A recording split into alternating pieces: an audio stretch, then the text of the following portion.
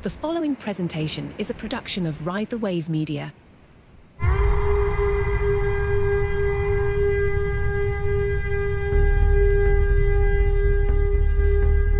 Hey, heathens? Welcome back to Vibing the Apocalypse. I'm your host, the Fresh King Benjamin. It's been a couple weeks since I've been on, um, but it is spring now, and it's day 1,470 of the apocalypse. And so we are back. I have a really good, good friend on. We're going to talk about uh, the apocalypse today. But before I jump into that, I just want to let you know if you are a local listener, if you're in the Salt Lake area, I have an upcoming show for comedy on April 7th. So on April 7th, I'm going to be on a show called Comedy Church, which is a really hilarious show where it's like a it's like a, a fake church that's also comedy. And we're going to be getting together and talking about the law of chastity, which is a very important law that keeps people from fucking each other. And so we're going to talk about that. If you uh, want to come to that show, you totally should. And you can actually get a little, I'm going to just share this, my screen really quick, because you can get, oh, I don't want that. That's like a, if you come to this website, marketevents.com slash E slash D6EFIWOU1N, they need to do a much better job on their marketing so that they have a better website, but they're still new. They're working on it. Sunday, April 7th, 7:30 p.m. at the Redemption Bar and Grill in Herriman, Utah. And if you use the code Benjamin, tickets are $10. It's a steal. But if you use the code Benjamin, you get 20% off, which is like double tithing. So you you can come for just $8, which is insane. So definitely come to that. And, and that's my my announcement. Now jumping back into our interview. So I want to just welcome my my good friend Stephani Lucas. Stephani, welcome to the show. What do you want to tell listeners a little bit about you? Yeah, thanks for having me. I'm so excited for this conversation. So my name is Stephani Lucas. I live here in lovely Austin, Texas. And yeah, representing um, my Austin sweatshirt today. So good. So I am in the insurance and financial services space, so very much in the matrix a very dense industry. So operating in that space is quite interesting when you're super witchy and like spiritual and very different than how it operates. Yeah, you're kind of a walking contradiction because because on the one hand, insurance, finance space, like brilliant in that, crushing it. And then on the other hand, like I've been to your house. I have never been to a more witchy place in my life. I love it. Like you've got crystals everywhere. Your cat is like a reincarnated someone. Like you are, you are legit. You're literally wearing a pendant right now. Uh, and I've done some cool witch. You have a you have a shed in your house, a she shed, yeah. where you do witchy things with. And you've done. We pulled brooms in that shed, and it like changed my life. So it was a pretty. It's a pretty magical moment. Yeah, yeah. I'm curious about but before we kind of get into the into the conversation, I'm curious about did the did you start witching or did you start in this sort of matrix area and how did you how did you go from this like you said deep in the matrix like I can't think of anything more tied into the old world that's sort of mm-hmm. crumbling than the financial industry. So how did you go from that into this into this witchy place? Yeah, so interesting. Um I was very buttoned up you know, corporate, very, you know, wearing my suits and like cute little outfits and very conformative and extremely driven. And I was an addict. Like that industry, when you're out at events and all of these things, you're drinking a lot. There are other things available. and I found myself by the time I was 32, I was making more money than I mm-hmm. had ever made.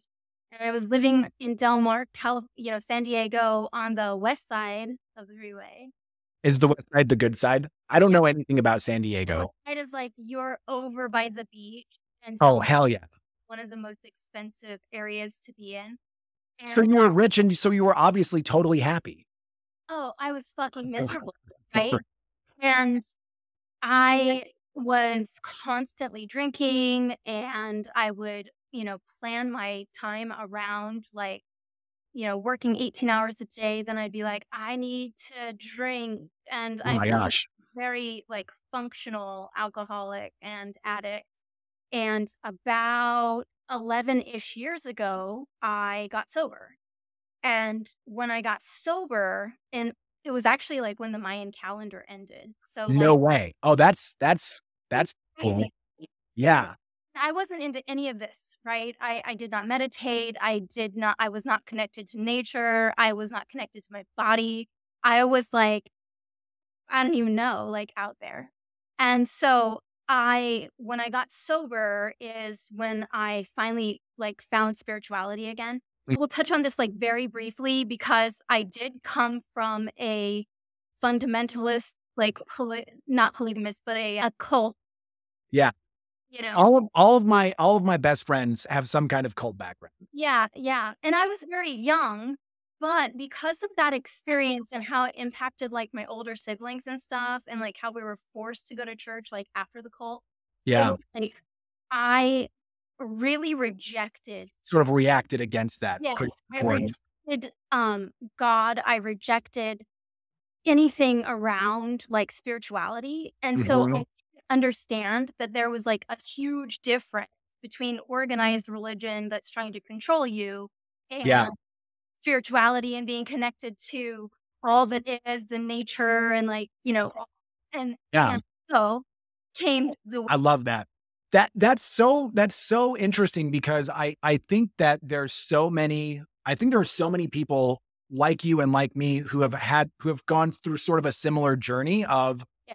being in a very restrictive spiritual place, cult cultish, cult like, and then we sort of reject that and we kind of and in the rejection of that we're sort of like we're like oh all all spiritual we kind of like throw the baby out with the bathwater and we're like we're just going to do science and real shit right and I'm grateful for my experience doing that because it, it did feel like it sort of grounded me, right? It sort of landed me in, in this reality. And, and then I also think too that like humans have been spiritual. We have been believers for hundreds of thousands of years, way before we had organized religion, way before we had Christianity or Islam or Buddhism or any formal religion. We were animus. We were spiritual. We believed in in nature. We communed with spirits, right? And so I think that in in a large part that is who we are and that's sort of baked into our brain. I think that our our operating system is a spiritual operating system and I think that's one of the reasons why right now there's sort of this interesting like you have you see a lot of people joining cults. You see a lot of people going back to religion. And I mm-hmm. think it's because the modern scientific world, for all of the great things that it's done, like our ability to talk, you're in Austin, I'm in Utah, like magic. I love that. Thank you, science. But it hasn't done a great job of giving us an internal operating system for how to live life, like how to live life well. It's it's left it a little barren. So I'm kind of interested to, I think that's going to be a lot of what we talk about today. yeah. Yeah. And I mean that's my life, right? Yeah, I love that. Yeah. So growing up, you you mentioned you kind of had a, a little bit of a kind of a like mo- mostly your older siblings as a cult background. You you react against that. Did you have any kind of conception of the apocalypse like pre-COVID? Yes. Okay. So, you know, all of my life after seven years old, when we actually had TV, there's always been this like zombie, you know, Yeah. thing. Ha- Yeah. As I grew up, it was sort of like I was seeing this happen around me where like people were heavily medicated and, you know, constantly drinking mm-hmm. and they were like numb and dumb and easier to control. And so I feel like the zombie apocalypse was like slowly like like put into society like oh decades ago. You know, Yeah. it, it wasn't COVID that created this apocalypse, but now it's like very much like in your face, very, very aware. And, you know, it wasn't like sprinkled into the water. It was like, I'm going to punch you in the face with it. right. We're gonna we're gonna shake the entire world and say, hey, by the way, Yeah. world's different now. Yeah, Yeah. Yeah. Like, look what kind of control we do have. yeah. Yeah. And uh, so, yes. When I, I love too that, that like one of the things that I think is kind of going back to maybe zeitgeist or sort of this this spirituality that's sort of underneath everything that's happening is that I I think it's really fascinating that that the all that we had so many stories about the apocalypse, like the zombie apocalypse, the Mad Max apocalypse, like so for for, for decades we've been sort of telling those stories, kind of prepping our minds for something like that. And and I think too that like I also think about the the the advent of like it seems like a I don't know what cult what what cult were your parents a, a part of? Do you know? Like five star Pentecostal, so it's a very strict Christian sect. Did they handle like snakes? Uh no. Duh. I'm like thinking of who are the, who are the snake handlers? I thought they were Pentecostals. Well, they didn't do anything cool. Damn it. Yeah. They wore like, you know, they they were sort of like the long, you know, plain dress. Oh, okay. Yeah, yeah, yeah. Bonnets. Okay. Yeah. Oh my, you, your people and my people would have fit in. They would have, because when we kind of got kicked out, they went and found a Mennonite church. Oh, no way. Yeah. And the Mennonites were like, we don't want you. And so then they went and found like a normal Christian church. And then we went to this like Christian school. And, you know, that anyway. And you know that you're extreme when the Mennonites are like, easy. Yeah. I don't want you. No, thank you. do it might have had to do like a little bit with the you know i had six brothers at the time so Yeah. unruly children Oh and- yeah. yeah That'll, that'll do it. yeah they're like Yeah. you I think I think it's fascinating that so so the the cult that I grew up in, Mormonism, right? That starts in the 1830s. JW started in the 1830s, Seventh Day Adventist. There's so many cults that kind of go back to like right like 1830s, 1840s America. And then they sort of they sort of for generations, like I'm a I'm the seventh generation Mormon in my family, which feels all sorts of powerful and like literally like my my ancestor came to america his grand his son joined the mormons and then seven generations later i pop out and i'm like fuck this mormon shit. And and i know so many people like you and like a, a lot of my friends from multiple from a bunch of different cults who have done that and who have sort of they they've been in the cult for for years it sort of created a certain kind of human and then they've sort of stepped out they they've rejected that and I think that's kind of, I think that's kind of magical because I think that's actually created a certain kind of human who is sort of ready to to thrive and to sort of do really well in this new post-apocalyptic world where because we're we're we're we're grounded in reality, we're skeptical, we're we're willing to like think deeply, we're willing like it's it doesn't bother me to think about the like I I think about America some like the American government sometimes as very much a cult. And and that doesn't scare me that because I'm like, look, I know what cults are. Uh-huh. I I've thought my way out of like it's it's a norm it feels like a normal thing to do. And it also feels really important because there's there's a lot of we need that kind of thinking today. Like we need people who are willing to challenge the status quo, who are willing to live their authentic lives in a in a way that's powerful, that that that relies on themselves as the source of their authority and intuition that that really brings humans back and make lets humans human again. And that's one of the reasons I'm really excited about talking to you is that you've done a lot of work and you're really good at humaning. So I want to just kind of turn it over to you and, and just like teach me a little bit. How how do you think what are some things that you think that are important for us to do in this kind of post-apocalyptic, this new, this rapidly changing world? How do we make this world into a more human world? And how do we take control and power back in our own lives? oh man there's so many things i do want to start really with your own being sovereign in your own body right we are given so much in this world but the most important thing that we have been given is this vessel and it is our job to nurture it so that as we you know grow older we are doing it in a way that is healthy and vibrant and happy Yeah. you know, our world is so toxic. And because of the government and the way that this corporation of a country has been set up, everything's about profitability. So it doesn't matter if the food that you're being given has chemicals and things that are causing your body to break down, to, you know, become obese, to have diabetes, to it's crazy. It's crazy. Like Yeah. all of Ad nauseum. like the autoimmune issues that exist today is just insane to me. Yeah, it's wild to me that America is so wealthy. We're so wealthy and we are so sick. Well, unhealthy. Like No. it Blows my mind. It's insane. So, taking care of yourself is like the mm-hmm. biggest, most important thing.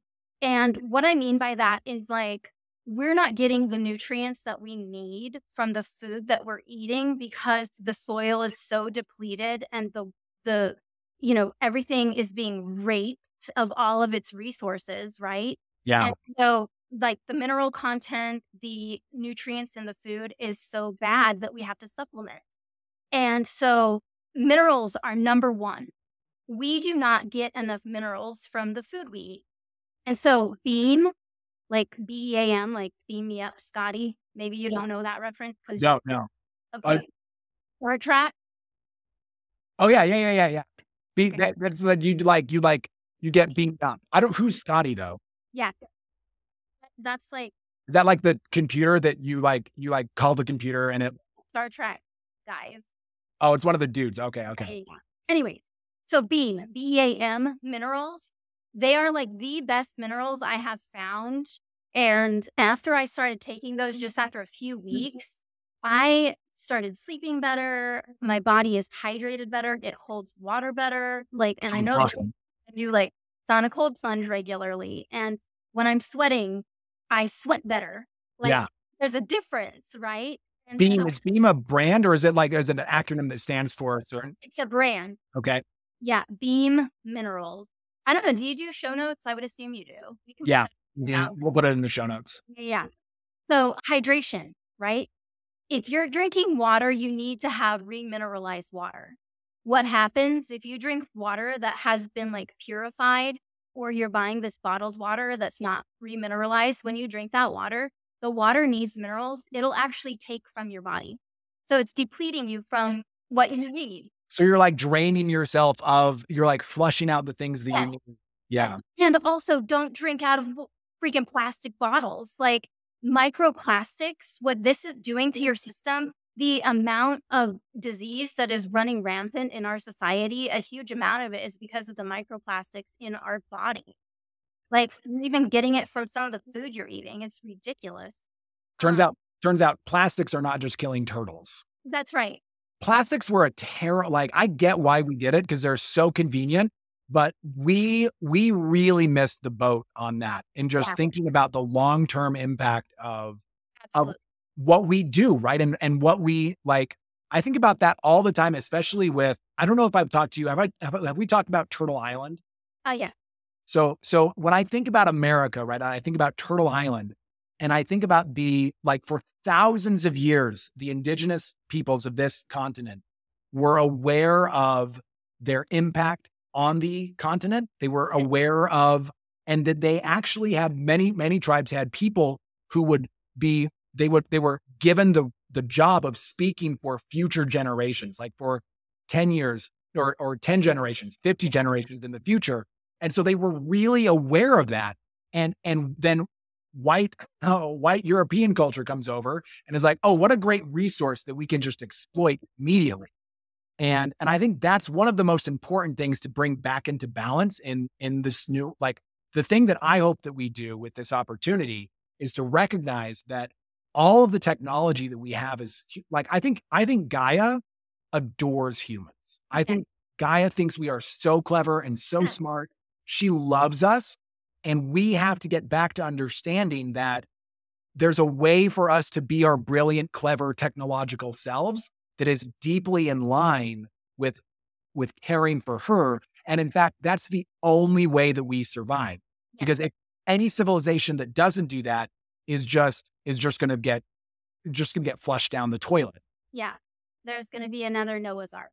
Yeah, yeah. And I won't be able to get on that because I'm so wicked. Yeah, I don't know what that looks like, but I probably won't be on it either. So, so yeah, so I mean, like really caring for your body, and that is built on your self worth, right?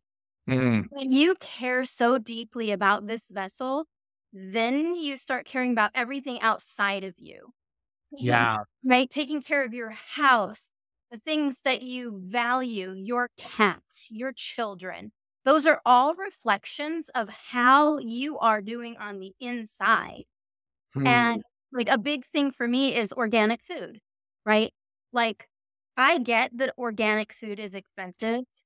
So, on top of going to the farmer's market, going to regenerative farms, thankfully I have access to those things because I'm in Texas. Austin is pretty great for that. Yeah. It- it's amazing. But there is actually there's a website that you can go to to find a regenerative farm in your area. Love um, this.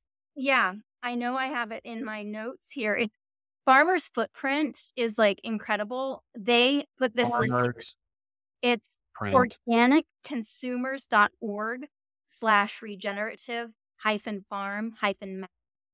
And you can go to that website, put your zip code in, and it'll tell you all the types of regenerative farms in your area. Hang on. Tell me that one more. Organic. I'm going to just do that right now. Organic Organicconsumers.org consumers.org. Okay. forward slash regenerative Regenerative hyphen farm farm. Forward slash. Oh my God. This is amazing. Yes. Holy cow. So I'm seeing like this whole map of the entire United States. Yeah. Oh, and see, ah, this is what, this is why, e- even though, even though this is a show about the apocalypse and how everything is breaking and we're all going to die, Yes. it's also a show we're not, we're not because we're so clever and we're so aware and we're actually tapped in and we're paying attention and and we have all of the tools that like all of the tool like that that we need to do this and just I want to just share this so that that people who are watching can see. Check check this out y'all. Like you jump into here and there are thousands of them all over the place and so here I am in Utah and bam there's one i mean this is like literally probably 20 minutes from my house Great. So so yeah, so I started my own garden. I have like over a hundred square feet of gardening, like raised beds in my backyard. yeah On year two, and I so I I'm a green witch, right? So plants yes are the thing. You know, I'm not out casting spells on people and being all decrepit and weird and like doing bad stuff. Everything I do is for the betterment of nature Mm, and people around me and my everything, right? Yeah. Like, which I, I think like that is as I've as I've studied witches, as I've gotten to know several witches, what I've realized is that was what witches were the whole time. yes. Like the whole time they were just they were just like women who knew about nature Uh-huh. and could use herbs and like the whole broom thing. This blew my mind when I learned this. That the whole witches on a broom. Why did witches have brooms? Because they figured out if you sweep your house, it's cleaner and you don't die. Yes. Well, now I have a Jaspr, so I don't have to sweep. Wait, what's a Jaspr? It is like the most amazing air purification system on the planet. Oh, no way. Yes. And like it will take allergens, micro everything's out of the out of the air. And so if you're using a Jaspr, you're not getting dust because it sucks it all up. Yeah. So you're you fly around on a Jaspr instead of instead of a broom. That's rad. Yeah. Love that. Yeah. So you're a green witch. Yeah. And so, like, gardening is so important, right? So, if you can't afford to buy all your stuff organic, learn to garden, get your hands in the dirt. Not only getting your hands in the dirt is like good for your garden, but it's good for your microbiome in your system. Yeah, it turns out eating dirt is really good for you. It is. It is. Yeah. Yeah. Um, That's one of the things that I think is is a little hilarious about my background, right? Because I grew up and I never went to the doctor, never got any kind of vaccine. Like I was I was a literal free range kid. We just r- ran around and played in the dirt. And and I have a pretty strong immune, like I'm a pretty healthy guy. Yeah. Which is not like I'm I'm grateful for modern medicine and the, all the ways that it it helps us when we need it. And I think it's also kind of it's the the extreme focus on like purification and like with our water, like you were saying, like nothing in our water. No, we need a little like obviously we don't want cholera in our water, Well, but we we need some dirt yes. we need some dirt in our in our in our water a little bit and actually one of the so when i was at when i was at burning man my first year i had this really interesting experience with dirt because over the course of the week i just got progressively more naked. So beginning of the week i was like i was my very strict polygamous self. End of the week i was butt ass naked just wonder i didn't even care. It was magical. And as i was doing that what i what i started to do is instead of like putting sunscreen on at the beginning of the day, which is where I started, because the, the sun out there is brutal. I just remembered I, I would like remember like these David Attenborough documentaries and like the the elephants would like throw dirt on them. And I'm like, I'm gonna try that. So I like literally just scooped up a bunch of dirt and just rubbed it all over my body. And then I just and anytime I started to feel like I got a little bit of sun, I just rubbed more dirt on. And it worked. Like I did it, I wasn't sunburned. And actually what I started to find was that dirt started to mi- mix with a little bit of sweat. So I had sort of this thin film of like dirt and sweat all over my body. Yeah. And it was actually really, really comfortable. It probably exfoliated a lot too. Oh, I was, my skin was so smooth, Uh, yeah. so soft. And, and it made me realize, right? Like we are, we, we are animals and we've removed ourselves. We've tried to like remove ourselves from this Yeah. like this animal world that we live, but we are just like we're designed, we're designed to be in the dirt. We're Yeah. designed to be a little bit messy. We're designed to kind of have like that all of this is is who we are and that we aren't really these hyper clean, like we we we can actually get in like get in that dirt and eat a little bit of and it's actually really good for us. It's actually very good for us. Yeah. And it's funny too, because like my, I, I think that our generation maybe is sort of maybe the last generation that's really, because my kids are, they, they love gardening. They, they talked me into, cause I, I, I was still very resistant to gardening because of how I grew up. I was like, I don't want to garden. I want to go to a store. Buy Yeah. You want to, yeah, you're resisting what you were brought up on. I'm resisting what I what I was because it was because it wasn't wasn't fun, right? But my kids are like, yo, we they love it, and so they talked me into. They were like, we want to do a garden in our in our upstairs, like on my on our balcony. Like, well, we don't have a garden bed or anything. So one day we were driving. There's like this big abandoned lot behind our house, and we were just driving through it, and someone had just taken a box spring and thrown it out, like just dumped it there. Oh my God. And we were like, oh, what the f- like assholes? Like, why would you do that? And then we looked at it and, and my daughter, my my oldest daughter was like, we could probably do something with that. And I was like, yeah, we probably could. So we took it, we hauled it back to my mm-hmm. house. We it's up, it's right outside, full of dirt. We just filled it with dirt and we planted a bunch of onions last fall. And Nice. now they're starting to pop up. So we're gonna have a whole bunch of onions that grew in our box spring mattress. And it was that easy, right? Like it, and I think that that's where, and what's fun about that too is that I think that we are, I think we've become really disconnected from food, from where it comes from, from really the magic of like yeah. of creating it and then have, and then pulling it from the earth and then eating it, right? That's, that's who we are. Mhm. And, and I think it's, it's a lot more healthy than like a McDonald's hamburger. Yes. It's like, it's not going to cause disease. Yeah. Yeah.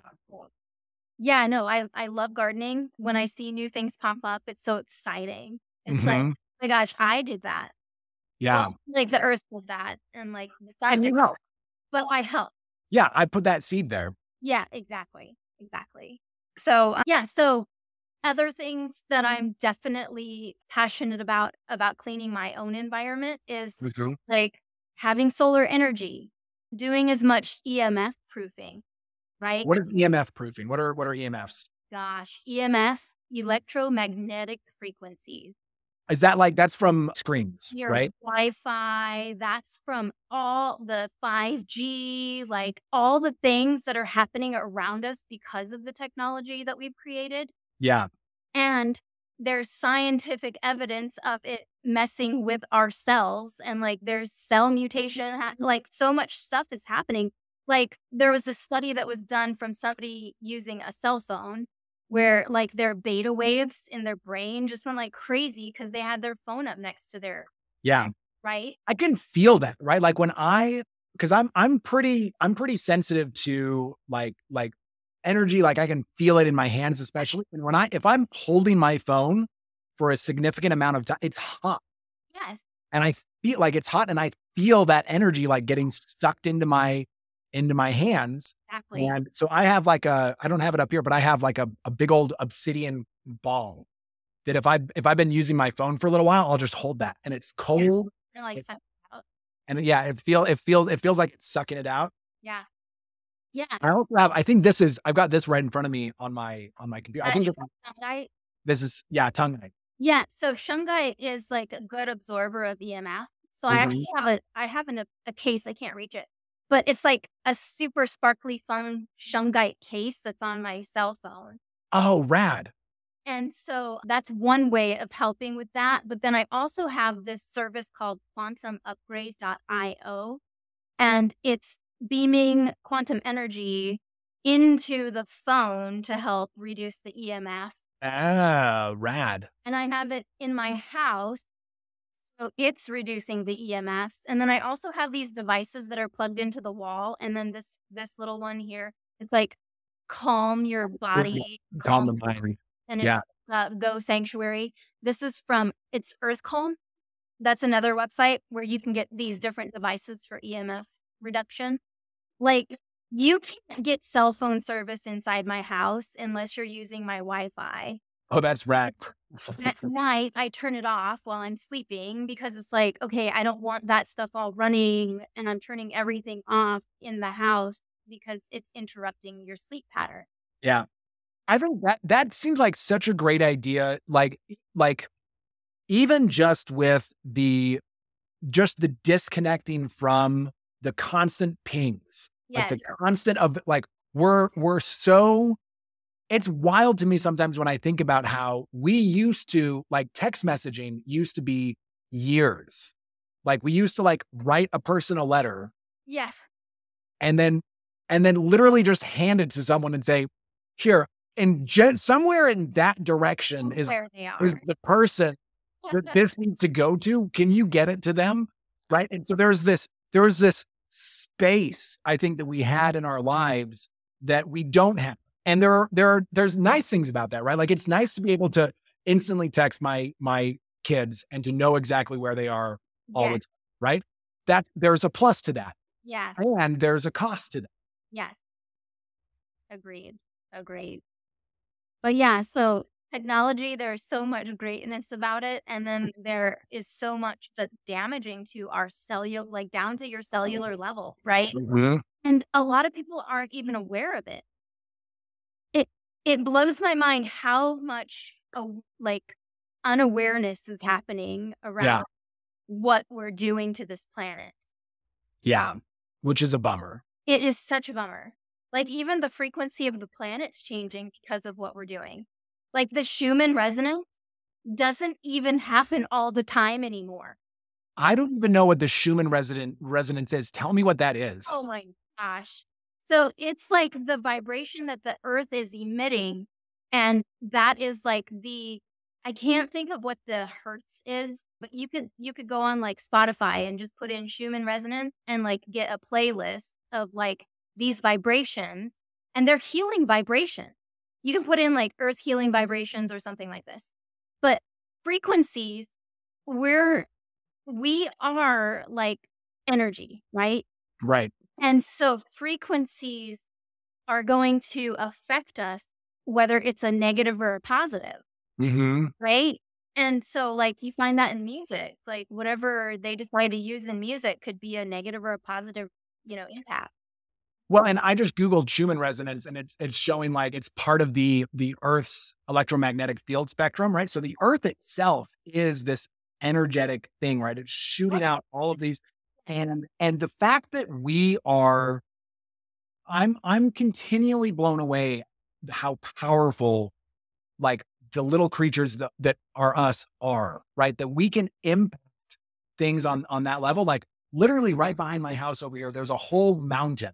There's a mountain that is getting eaten by humans as they mine it away for copper, right? Every day, a little bit less mountain, right?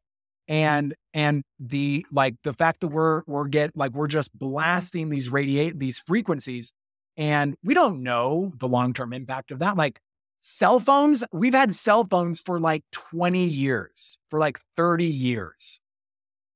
That's not a very long time. No. Especially when you think about the the the length of time that like it's taken for like how long nature moves, right? Nature moves in millions of years, Yeah. right? Yeah. And over millions of years, it creates eco, it creates all this balance. And then we can kind of come in so quickly and tip that Yeah. in, in disastrous ways, right? Like we're in the middle of, that's where we're at right now. Like we're in the middle of one of, they're, they're calling it the sixth great extinction. We are, we are slaughtering life on this planet Yeah. on an unprecedented scale. And, and it's really only within like the last 200 years. Mm-hmm. Yeah. Well, a, a huge problem is that we've traded, you know, our health and the the like nature thriving for convenience. Yeah, Right. Like, for instance, the microwave. Totally. microwave is the worst invention ever. It it literally kills the nutrients of the food that you're warming up. So you're just like shoveling nothing in your mouth. So But it's really hot nothing really hot nothing. that got that got in my mouth really fast. And there's one in every almost every house in America at least. Yeah. When I've traveled, there's not always a microwave, but there's a lot of We we have lots. And and and what's wild to me too is that it's not even like the level of convenience is not we're so fixated on convenience because a microwave is not that much more convenient than like an air fryer. No, and that's the thing is like it's literally taking the nutrients out of your food and radiating you. So like go ahead and poison yourself and not get any nutrients. Really? Yeah. Like what? Yeah. And and go so fast like that that you're not mm-hmm. actually slowing mm-hmm. down, appreciating the food, smelling the food, right? Like cooking used to be such a such a such a process, right? Such a get like we'd get together and we would do it together and we'd we'd smell it and it would like all of this stuff would happen. And and now we're just like, oh, as quickly as we can, like Yeah. let's get that out of the way. Like let's let's eat as quickly as we possibly can. Yeah. I mean, I I feel like cooking is an art form in and of itself. Totally. you know?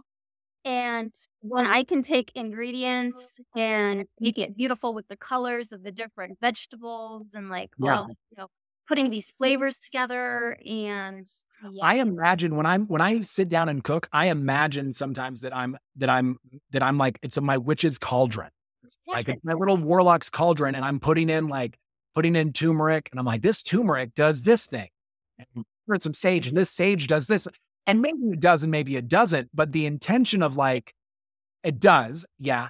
And but the it, it's like the the intention of I'm I'm creating this thing and I'm doing it with love and I'm doing it for my kids and I'm doing it for myself. And then we sit down and we eat it.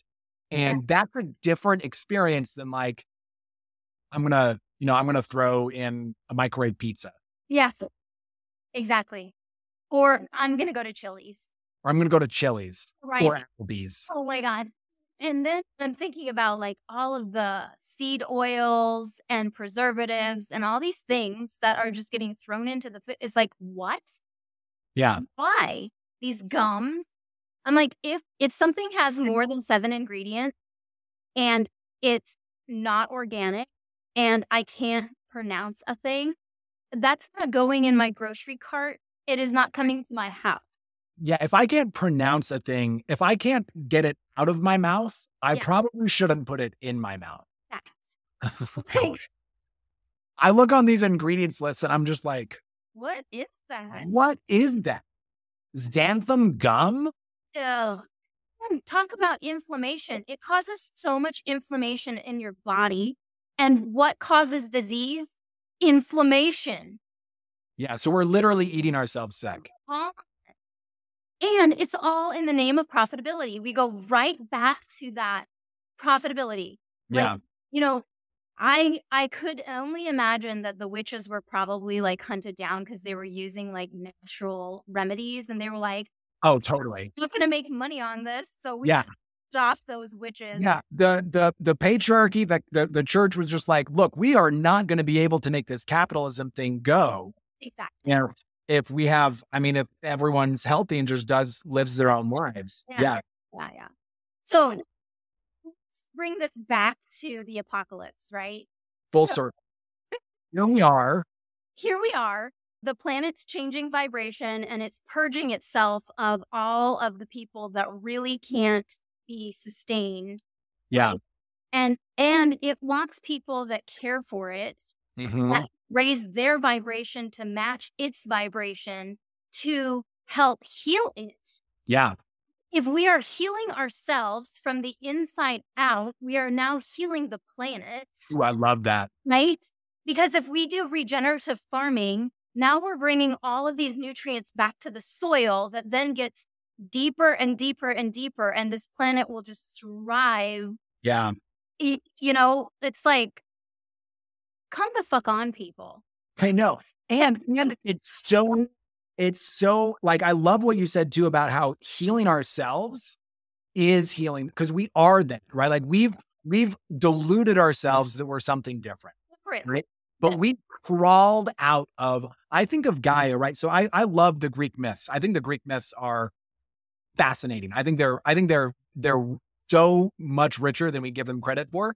And one of the things that the Greek like when you go back to the very early Greek myths about how everything was formed, the first thing that exists, right, is like there's there's there was the sea and then there was Tartarus, right? Tartarus is the rocks under the earth. And then Gaia comes and Gaia be- exists on top of Tartarus. And I imagine that as like are, are you familiar with the Gaia hypothesis from I think James Lovelace? He was this he was this chemist from like the 1970s and, and he proposed a hypothesis that all life is a single organism. Yeah. Right? A single organism. He called it Gaia. And and I imagine it just as like if you look at our planet, right? And if you look at probably any planet, at at the core of the planet, it's like just rocks. It's rock and and that's and you can't live on rock, right? That's one of the reasons I love Burning Man is that you go to Burning Man and you literally go to the most there's nothing can live there. You are at you are at the place where there's nothing and then you realize how much humans we depend on layers and layers and layers of life like dirt, vegetation for it. There's so much that we rely on that we don't even think about. We just imagine we're just like, oh, that's just what the world is like. Right. No, that's not what the world is like. There are places on the in, on Earth where that doesn't exist. There are like that's what Mars is like. The reason that Mars isn't alive is because Mars doesn't have Gaia. Mars doesn't, and there are other reasons for that too, right? But Mars doesn't have this this living ecosystem that because the reason why we have a great atmosphere is because we have Gaia exhaling oxygen, right? So we're we're intimately part of this. And I just imagine it as like this giant green goo that's all over the rocks of our planet. And we've been and and Gaia invented us to be the caretakers, Exactly. right? We're the caretakers. Wow. And we have really not done a great, we've forgotten. And and the good news is we actually did a pretty great job for a long time Yeah. right? For hundreds of thousands of years, we did a really great job. And then we invented this thing called capitalism, where it was like, how can we exploit? How can we take? And the thing that is the most gross to me about that is that it's not like capitalism doesn't benefit everyone. No. Capitalism benefits a few people. It benefits a few people, a whole bunch, and then the rest of the people it enslaves, and then it rapes the earth and and it doesn't and it's not it's not in and what we should be doing is because we don't the earth isn't habitable because the earth is habitable the earth is habitable because there's this organism that lives on the earth that's this huge super organism that's all around the planet that creates the conditions that allows complex life like us to live. And it doesn't have to. That's right.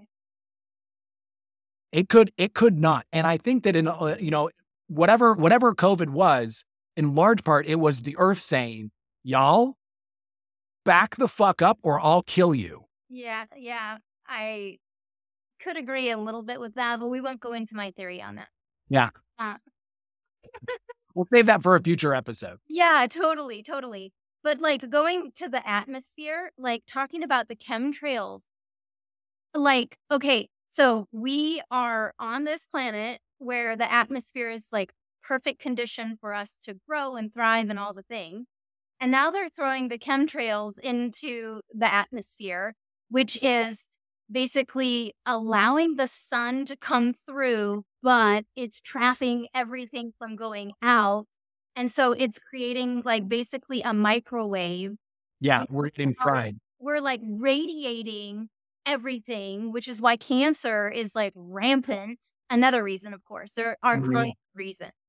But like, I am just blown away at like these things happening right in our faces, mm-hmm. and nobody's doing anything about it. Because it's not convenient to. Yeah, Because I, I really want to be able to go get to New York in five hours. right. That's important. Yes. It's important for me physically to be 5,000 miles away in five hours. It's insane. It's insane. It is a little bit insane. I mean, we just need to get back to where we know where we came from and who we are and how powerful we are. And then we can just like magically appear where we want to be. I I am a hundred percent on board. I have have you seen have you seen the OA? No. Oh my god, you would love the OA. But in in the OA, they they Oh, do yeah. these Yeah, yeah, yeah. the OA where they have like the movements and then they teleport. Yes. I I want that to happen. Yes. I that's what when I think of like pyramids, I have no I have no backing for this other than this is what I think, which is there's no way, and maybe we're, we'll shift gears a little bit because you turned me on to this show, Resident Alien. Oh, yeah. Oh, Right. God. So I've been thinking about aliens. Number one, I've been thinking about aliens. I'm pretty sure I had a UFO encounter when I was a, a little kid, right? I remember laying on the tramp one night and there were like, there was no sound, but there were all of these lights flashing all over our field.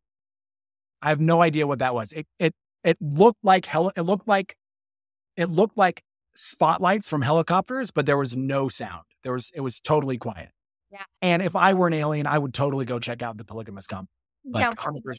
I'd be like, this, this looks interesting. What's going on right here? Right. Yeah. But I, I'm, I've been fascinated with space my whole life. I'm, I, I want to, I want to go to space. Like I want to go, I want to go visit another planet so badly.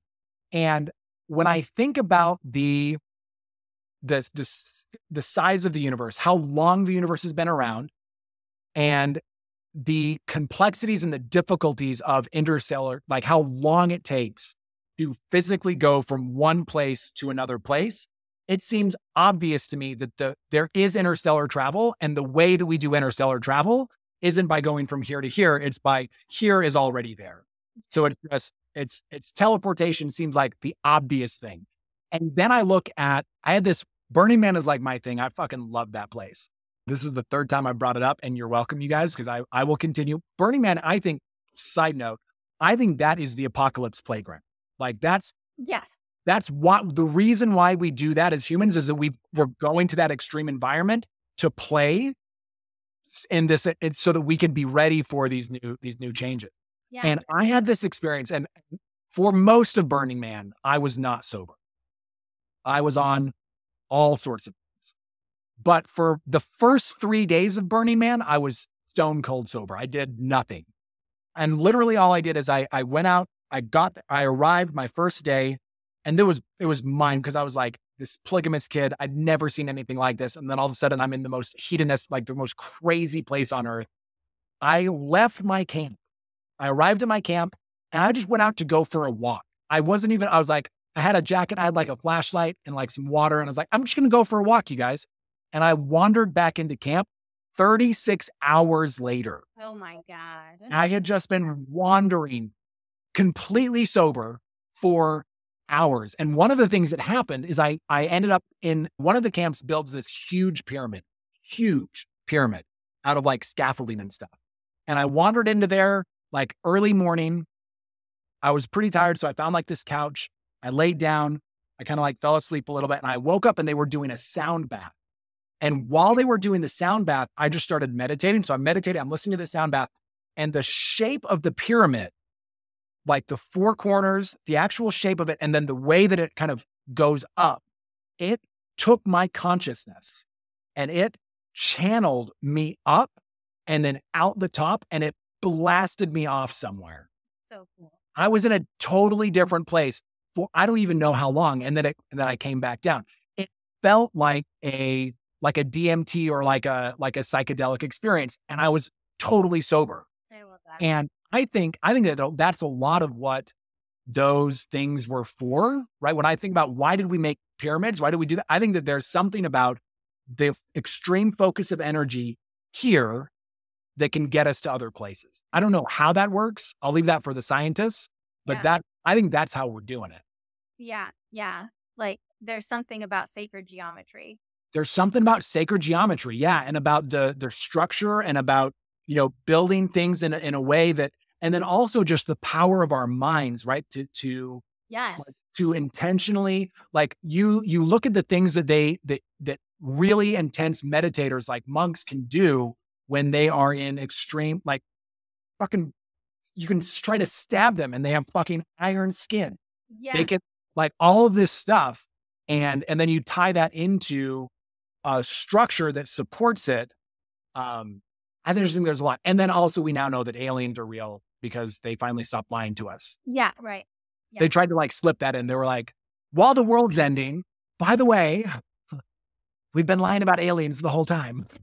You know, they tell us so much stuff and we don't see it as reality, Yeah. right? They slip things in and it's so crazy that they're like, well, we told you guys. So, like, Trust us. Yeah. Yeah. Yeah. I'm I'm I'm I'm excited. I'm. I'm excited for there's so much there's so much kind of coming. One of the so we played with these cards before, right? Apocalypse. yeah, I love So one of the one of the definitions of this card that they so this is the apocalypses card. They define an apocalypse as the unveiling of a truth. Uh-huh. and the wreckage that comes from the unveiling of that truth. Yes. And I think that, that that's a big like that's a big part of what is going on here with with especially with like aliens is we've we've been lying we've been pretending like that's not true for so long and now there's now mm. it's obvious. And Yeah. then and I love too how kind of everyone's response to that was like like everyone was like oh we can't tell people that aliens are real because they'll freak out. It'll destroy them. They won't even be able to handle it. And then they admit it and everyone's like yeah obviously. Yeah. like we've of course Egoic of us to think we're the only one right. massive universe. Of things.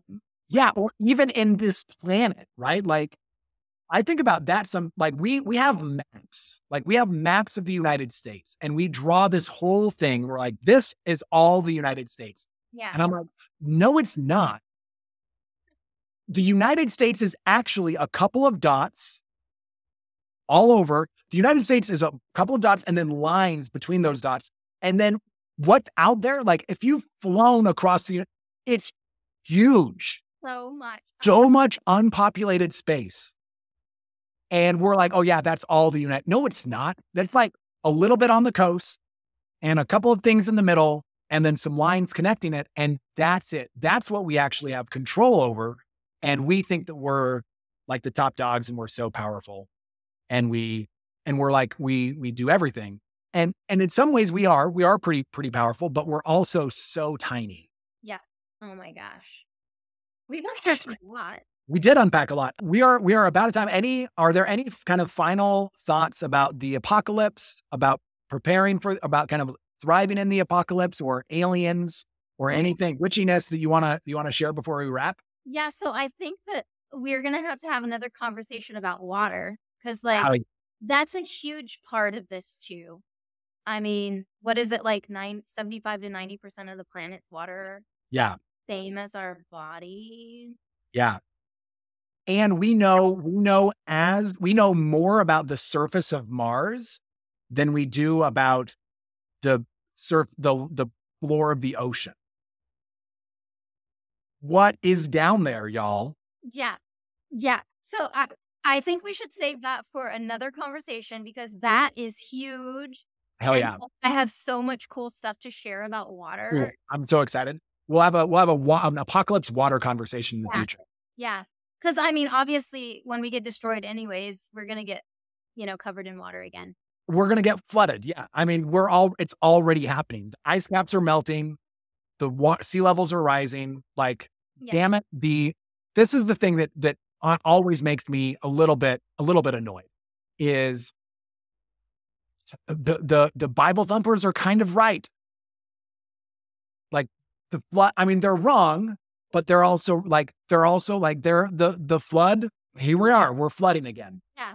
Yeah. Well, I'm not though. I, Utah's going to be fine. Utah's going to be beachfront. It's going to be great. it's great.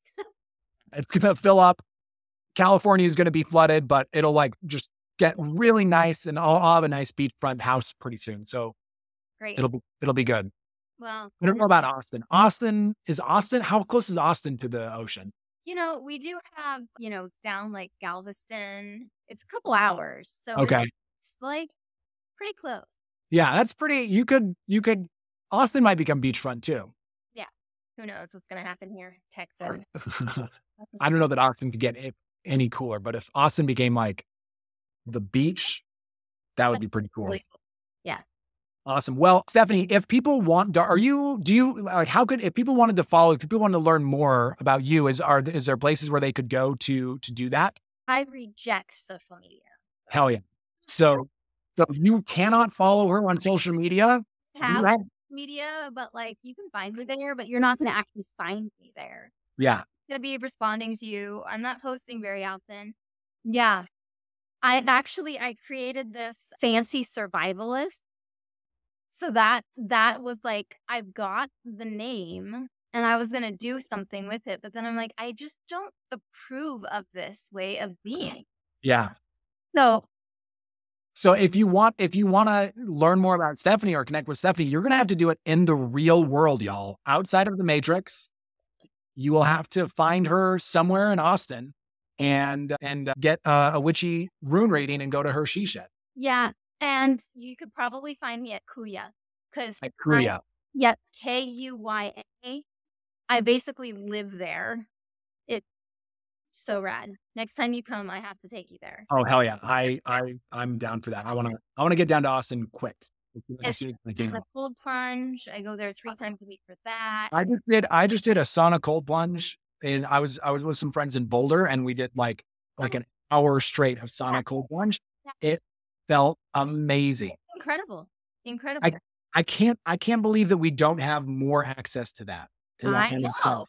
Because it's so good for you and it's so easy. Like it's literally just a box and fire. Yes. It's not that hard. No.